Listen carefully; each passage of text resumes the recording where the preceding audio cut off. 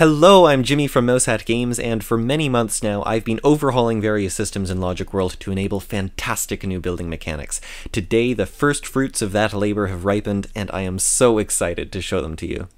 So you're likely familiar with the ability to grab a component and move it somewhere else, or the ability to duplicate a component. Very nice, very nice, but if I want to move this line of switches, for example, I have to tediously move them all one by one.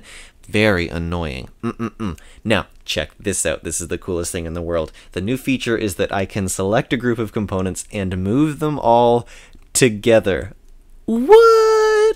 So this enables very fast rearrangements and iterations on circuit design. So smooth, so convenient. Look at me go! And these mechanics are very flexible. They don't just work in convenient, simple situations like that one. Here's a group of components with different rotations, all being moved at once. They can even go on the board, and it just handles that. Here's some components being moved onto several different parents. Look at that. Isn't that fun? Mm-mm-mm.